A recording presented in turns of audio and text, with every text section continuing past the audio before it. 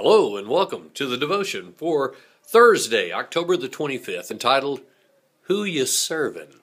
Now, Sunday morning, as we were looking at pop culture through the guise of rock and roll, we were talking about the that pop culture constantly is trying to make us feel like we don't have enough. We, we have to get this other gadget or gadget or some tech toy, or uh, we've got to wear a certain type of clothes, or we've got to be able to be a part of this type of group, or we've got to drive this kind of car, or what whatever that is, and it's constantly drawing us toward what one of the Ten Commandments said: we should not covet what we don't have. We should be happy with what we have, even as we strive to uh, uh, walk uh, in a greater provision. But we don't covet. We don't go, oh, I've got to have that or I can't be happy.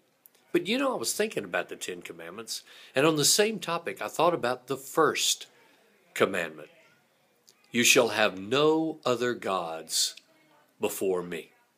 No other gods before me. Now, living in America and not living in the first century when there were idols and temples to pagan gods all over everywhere, it might be easy enough for us to say, well, there are no idols. I don't even know where an, I could find an idol. How in the world am I going to have another God before the Lord God?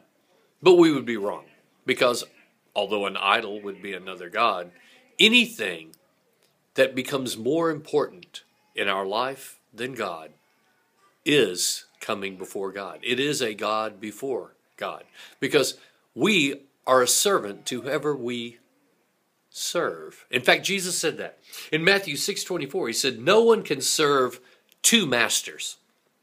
He will either hate one and love the other, or he will be devoted to one and despise the other." And then he says this, "You can't serve both God and money." Now, I believe we can interchange money with anything that would be a possession. Can't love God and power, or God and fame, or God and whatever else is more important to me than God. I can't serve two masters. If I'm going to serve the almighty dollar, or I'm going to serve my ego, or I'm going to serve uh, whatever the other thing may be, God is no longer first in my life. Now, it's really interesting. Josh is going through a mentor program right now. And uh, one of the things that he was asked to do about his job is he was asked to write down his priorities. What is the most important to him about his ministry and about what he does? And, so they made this list of what is most important in his family and, and all the things to go, these are the most important things. And then after that task was finished and turned in, the next job was now take that list back and match that up with how much time and money you spend on each one of those priorities. And what he quickly found out is that his time and money, the two commodities that we use to invest in life, were not in the same order as his priorities. And I believe every single one of us would find that same thing. I believe if we were to ask, are there anything more important to me than living my life the way that God would have me to live.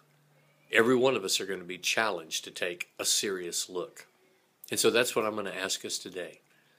What gains my attention, my time, my resources, my finances, my uh, uh, attention, my thoughts, all of that?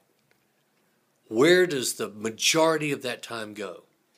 And the question is if God is the Lord of my life, do those things sync up with that declaration?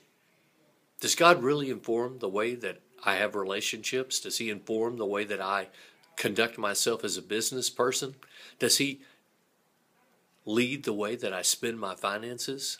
Does He guard the way I speak to my wife and my children? If He is Lord and His word leads my life. It should be congruent with every other priority in my life. So I'm going to pray now. And I want us to seriously consider is there congruence? Is he truly the Lord of all? Or is there something that has slipped up and become more important? Is there a place where I'm missing that ability to make him Lord first? Father, we just ask. Lord, no one's going to grade this paper but you. No one's going to look at these answers but you. Father, I ask that you would help us to take a deep soul searching look and to go, are my priorities in line with what I say they are? And who am I serving? Are you Lord of all? Or are there other things that have come before you in the way that I conduct my life, in my attitudes, in my relationships, in my business? Are you Lord? Lord, as we ask, who are we serving?